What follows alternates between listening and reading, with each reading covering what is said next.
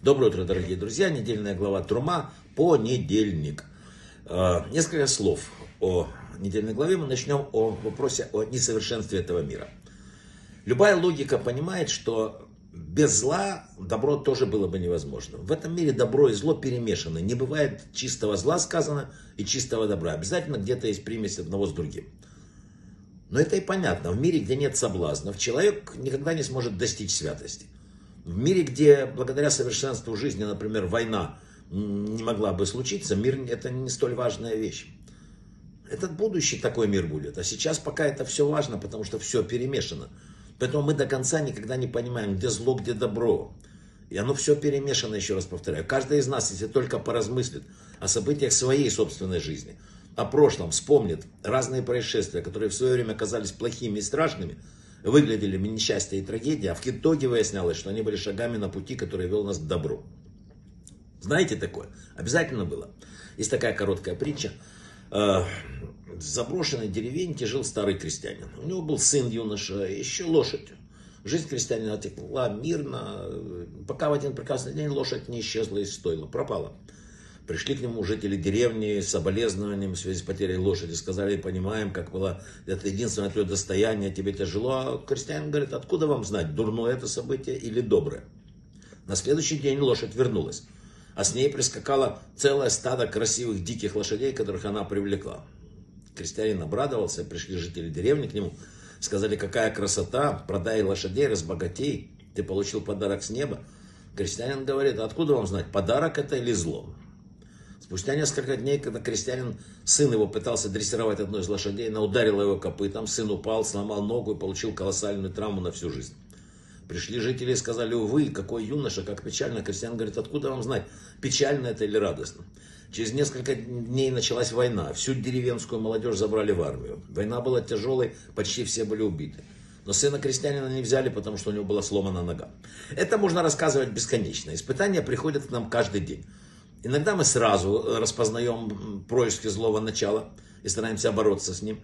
Но в некоторых испытаниях нам трудно устоять. Иногда мы ощущаем, что не в силах вынести трудности, но не понимаем, что это наше личное испытание, сшитое специально для нас. Потому что ни у кого не бывает испытаний, сшитых не для него. Мы люди, мы видим лишь короткое расстояние такое. Мы видим лишь тот момент, час там или испытание – и не всегда нам удается понять, почему к нам это пришло и что из этого вытекает. Или как я сумею справиться. Но Творец мира видит, он видит вечность, он точности знает, что человеку нужно для исправления и продвижения. Иногда, как у врача, который лечит, иногда, к сожалению, нужны действия, которые не всегда вызывают у нас положительные эмоции. Чтобы нам помочь, чтобы нас вернуть. Поэтому испытание точно соответствует той силе, которая имеется у данного человека в данный момент. Если человек выдерживает испытание, это поднимает, укрепляет его. Даже если ему кажется, что испытание было послано во зло, или что оно не способен с ним справиться, это не так. Это абсолютно не так.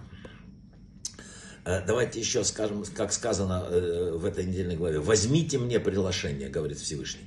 Комментаторы отмечают, что орфографически было бы правильно сказать «не возьмите», а что «дайте мне приглашение». Дело в том, что фактически все имеющееся в мире принадлежит хозяину мира, Творцу. Обращение «возьмите мне» учит, что тот, кто дает, помогает другому, на самом деле приобретает. Всевышний никогда не останется должником. Это невозможно. Он всегда возвращает сполна и даже более. Получается как бы замкнутый, но хороший круг.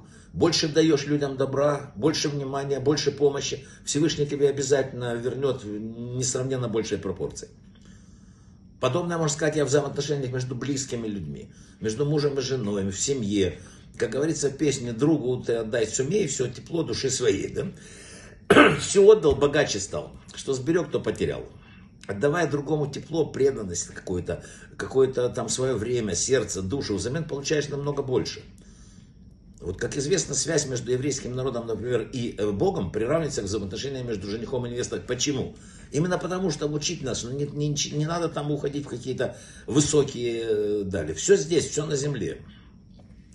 Однажды к э, Авраам из Стратина э, пришел к нему один э, странник и говорит, ты знаешь, э, говорят, что ты даешь удивительные лекарства, исцеляешь людей, дай мне лекарство, которое поможет бояться Бога. для страха перед Богом, он говорит, э, Авраам сказал, у меня нет лекарства, но могу тебе дать лекарство, которое поможет любить Бога. О, говорит, это тоже шикарно. Это лекарство, сказал праведник, это любовь к людям. Многие ищут путь Богу через отшельничество, медитацию, там какие-то уходы от мира. Однако вот Авраам Истратина говорил уникальную вещь. Ищущий Бога должен идти к людям. Ибо лишь любовь к ближнему помогает обрести любовь к Богу. Все остальное придуманное. Именно путь этот ведет к храму. После дарования Торы Всевышний сказал построить мешкан, переносной храм, который сопровождал их все время во время блуждания по Синайской пустыне, потому что строительство храма не только физическое возведение здания, но и духовный процесс становления. Мудрецы приравнивают семью к храму и самого человека к храму. Мы строим свой храм, своей семьи, свой, свой собственный. И поэтому это так важно. Брахава от слаха, всего самого хорошего. И, пожалуйста, не болейте.